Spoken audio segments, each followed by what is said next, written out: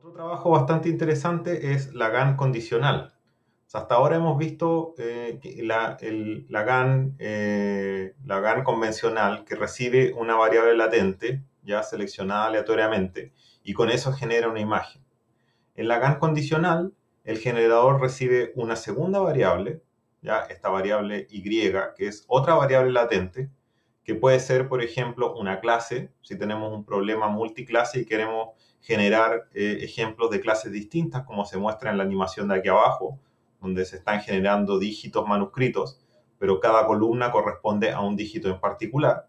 ¿ya? La, GAN, la GAN original o la GAN sin condición, uno no puede escoger cuál es el dígito que va, que va a muestrear, solamente uno muestrea de, de Z, de, una cierta, eh, uno podría controlarlo digamos, no directamente escogiendo una cierta zona de Z, pero eso no te asegura que tú siempre vas a, producir el dígito que esperas producir.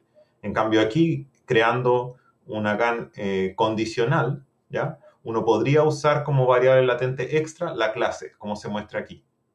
Pero no necesariamente eso, se puede usar también un vector de atributos, ¿ya? O, o metadato más general, como se muestra aquí en la figura de arriba, con el cual guiar la generación de una manera un poco más explícita. La GAN condicional fue usada, por ejemplo, en este trabajo, o sea, en, realidad son dos trabajos que usaron distintos, distintas arquitecturas, ¿ya? Pero ambas son GAN de tipo condicional eh, y, ambos trabajos son eh, de síntesis en base a texto, o sea, síntesis de imágenes fotorrealistas, como las que tenemos acá, pero generadas a partir de un texto. Entonces, el primer paso de preprocesamiento, podemos ver aquí que está Z muestreado desde una normal estándar, la parte blanca, y la parte azul, ya que es la parte condicional, viene de eh, un, método de embedding, ya por ejemplo, un Word embedding o un Word to Vec, que convierte este texto ya en una representación numérica que luego se concatena con el prior, y es esto entonces lo que se genera lo que entra al generador. Entonces el generador está generando en base al prior, pero también condicionado a eh, la, la, versión transformada de texto eh, a numérico, ¿ya? usando un cierto embedding. Lo mismo después eh, para, para forzar también o, o, explotar mejor este, este hecho es que se ocupa también el mismo embedding ¿ya? en el discriminador. Entonces, esta arquitectura particular es la de RID 2016. Ya la de SANG es un poco distinta porque SANG utiliza, no utiliza una conditional DC GAN, como lo que está acá, sino que ocupa una conditional stack GAN. ¿ya? Entonces, las imágenes que, que, produce el segundo son un poquito mejores porque hay un stack de dos GAN.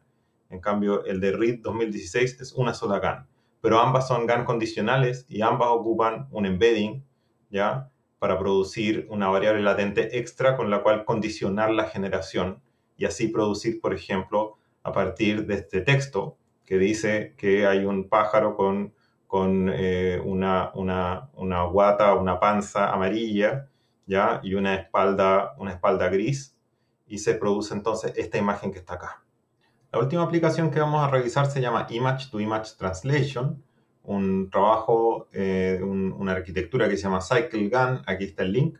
Entonces, esta aplicación eh, de traducción de imágenes eh, tiene como objetivo aprender un mapeo entre dos, entre dos tipos de imágenes, entre dos dominios de imágenes.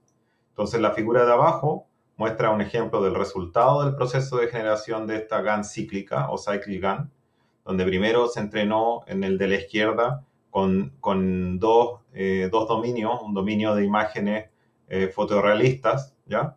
Y un dominio de cuadros que son los cuadros de Monet. Luego el modelo es capaz de generar una imagen fotorrealista a partir de un cuadro de Monet y viceversa. El segundo ejemplo muestra lo mismo, eh, pero con, con, dos dominios donde uno eran imágenes de cebras y el otro era imágenes de caballos. Entonces, luego de que el modelo esté entrenado, se puede tomar una imagen de cebra para producir una imagen de caballo y una imagen de caballo para producir una imagen de cebra.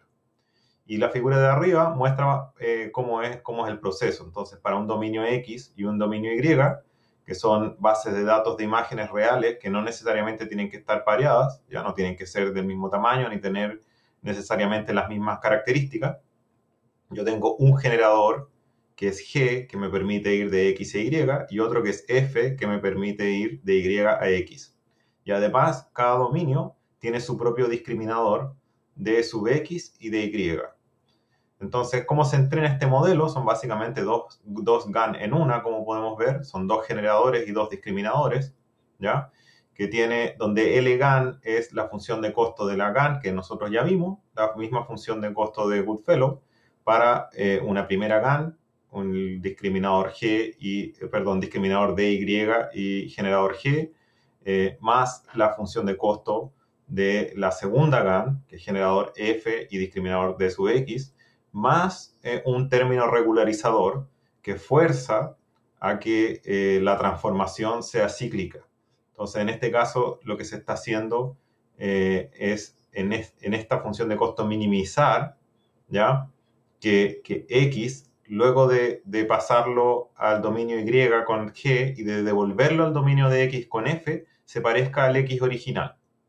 ¿ya? Lo mismo para el caso de Y pasarlo de f al dominio de x y después devolverlo al dominio de y con g y pedir que la distancia entre el y original y el y que se dio la vuelta cíclica sea, sea pequeña. ¿ya? Esto es lo que hace este término regularizador. Aquí les dejo otro ejemplo interesante para los que les gustan los videojuegos.